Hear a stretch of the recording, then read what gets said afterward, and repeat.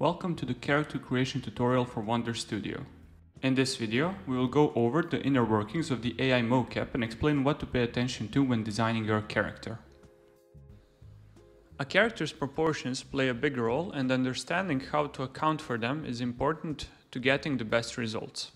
At the heart of Wonder Studio is an actor's performance. This means that characters with human-like proportions will have an advantage when it comes to performance transfer. This, however, doesn't mean that characters that deviate from human form cannot achieve good results. But it is important to understand what the limitations of the system are. We can split a human-like character's body into several groups. Arms, legs, torso and head. The head group has only two joints for consideration, neck and head joints. Both joints should be placed naturally at the base of the neck and the head. When creating stylized or non-human characters, the neck and head size can vary drastically and can deviate a lot from the human form. In these cases, it is important to remember that the performance of an actor should take these differences into account. For example, if the character has a head four times larger than a typical human head, if they wish to perform an action of scratching their nose, actors should not scratch their nose directly. Instead, they should have some kind of measure of where the character's nose would be, as if they are inhabiting the character or if they are inside of a costume. The volume that the character's head occupies is of importance for framing as well. For example, while shooting a close-up shot of the actor who will be replaced by character with a taller head, it is important to leave some room above the actor's head. Following a similar logic, arm and leg joint placement is also very intuitive. Arms and legs have three main joints, for arms, there are the shoulder, elbow, and wrist joints. For legs, there are the hip, knee, and ankle joints. An additional joint for the leg would be the toe base joint, which is the joint responsible for the rotation of all toes simultaneously. As for the arms, additional joints would be the finger joints. Each finger would have three joints, root, middle, and tip joints. Geometry shape and bone lengths of the character's appendages can vary drastically from the human form, which can have a visual impact on the performance transfer.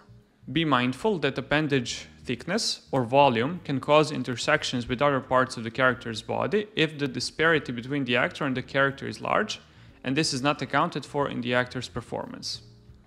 Regarding the bone length, the character's legs and arms can either be shorter or longer than the actor's arms, but implications for this can be different, so let's examine them separately. Shorter arms can fail to reach the desired place, which is especially important when the actor is trying to interact with objects. In a similar fashion, longer or shorter legs can cause the actor's motion to be exaggerated on a character. This mismatch can cause the foot sliding issue as the character is moving through space at a different rate than the stepping motion. Wonder Studio gives you the ability to enable inverse kinematics for feet and wrists separately. This can be done in the Live Action Advanced project type. If enabled, inverse kinematics will attempt to bring the wrists and feet positions of the character closer in line with the actor's wrist and feet positions. However, this option should be used with caution as it can result in unnatural stretching if the actor's limbs and body proportions are vastly different than those of the character. The torso is comprised of the hips or pelvis bone, three spine bones, and left and right clavicle bone. The hips or pelvis bone is the character's main bone. It is responsible for translating, rotating, and scaling the entire character.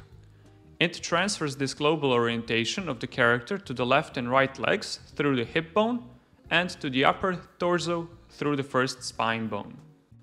There are a total of three spine bones. The first spine bone is responsible for deforming the lower torso.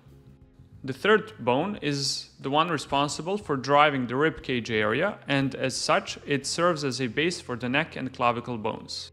The second spine bone is an in-between bone and serves to add additional rotation and smoothness to the deformation of the torso. It is important to distribute these bones as close to the example character as possible, since deviations in bone distribution could lead to small offsets in the animation. It is okay for a character to have more bones than this, but it is important to choose the spine bones which most closely resemble the required distribution for best results. For example, if the character has 10 spine bones, picking the first 3 bones would result in an exaggerated deformation of the lower part of the torso. As a result, the shoulders and head position would not match the actor's performance. Although not ideal from the rigging standpoint, the system expects the clavicle bone to be positioned roughly in between the middle of the character and the shoulder bone, and slightly below the shoulder bone. This positioning will produce the best results when deforming the shoulder. Positioning the clavicle bone too close to the spine or above the shoulder line can produce the effect of slanted shoulders. Geometry in the torso section can vary widely. Some of the things to look out for are the shoulders hips ratio and the waist hips ratio. If the shoulders hips ratio is too exaggerated, it may lead to unwanted geometry intersections unless accounted for in the actor's performance. The same is true for the waist hips ratio. That is pretty much it. This has been a short tutorial in which we've shown a couple of recommendations for posing your character properly for Wonder Studio. If you have any questions regarding this subject, you can ask them in comments here or in our Discord channel. Thank you very much and enjoy. Goodbye.